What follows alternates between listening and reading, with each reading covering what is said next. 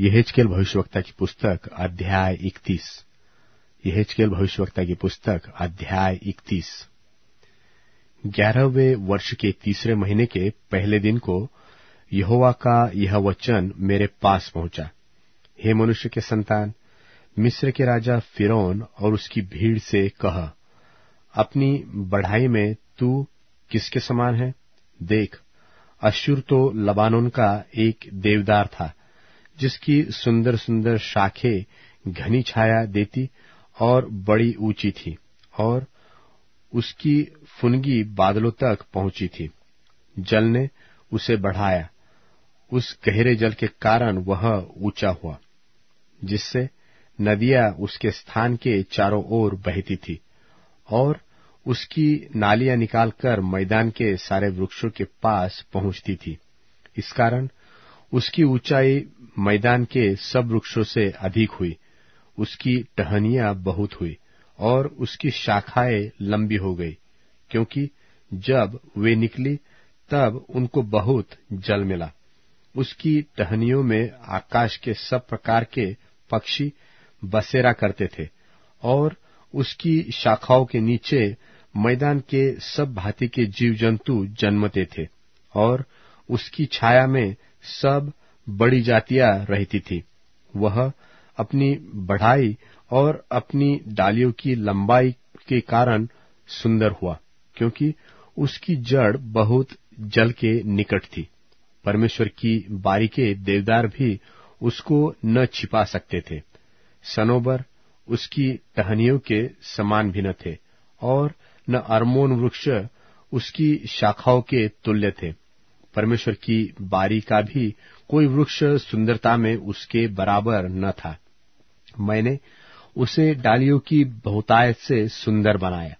यहाँ तक कि एदेन के सब वृक्ष जो परमेश्वर की बारी में थे, उससे डाह करते थे। इस कारण परमेश्वर यहोवा ने यो कहा है, उसकी ऊंचाई जो बढ़ गई और उसकी फुनगी जो बादलों तक पहुँची है और अपनी ऊंचाई के कारण उसका मन जो फूल उठा है, इसलिए जातियों में जो सामर्थ्य है, मैं उसी के हाथ उसको कर दूँगा और वह निश्चय उससे बुरा व्यवहार करेगा। उसकी दुष्टता के कारण मैंने उसको निकाल दिया है। परदेशी, जो जातियों में भयानक लोग हैं, वे उसको काटकर छोड़ देंगे। उसकी डालियाँ पहाड़ों पर और सब तराइयों में गिराई जाएगी, और उसकी शाखाएँ देश के सब नालों में टूटी पड़ी रहेगी, और जाति जाति के सब लोग उसकी छाया को छोड़कर चले जाएँगे। उस गिरे हुए वृक्ष पर आकाश के सब पक्षी बसेरा करते हैं, और उसकी शाखाओं के ऊपर मैदान के सब जीव जंतु चढ़ने पाते हैं। यह इसलिए हुआ है कि जल के पास के सब वृक्षों में से कोई अपनी ऊंचाई न बढ़ाए, न अपनी फुनगी को बादलों तक पहुँचाए, और उनमें से जितने जल पाकर दृढ़ हो गए हैं, वे ऊँचे होने के कारण सिर न उठाएँगे, क्योंकि वे भी सब के सब कबर में गड़े हुए मनुष्यों के समान मृत्यु के वश करके अधोलोक में डाल दिए जाएँगे।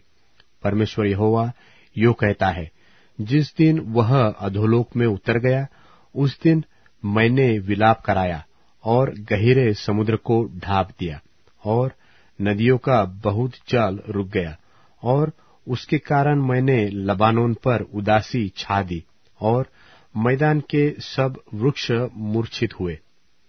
जब मैंने उसको कबर में गड़े हुओं के पास अधोलोक में फेंक दिया, तब उसके गिरने के शब्द से जाति जाति थरथरा गई और एदेन के सब वृक्ष, अर्थात लबानोन के उत्तम उत्तम वृक्षों ने जितने उससे जल पाते हैं, उन सबों ने अधोलोक में शांति पाई।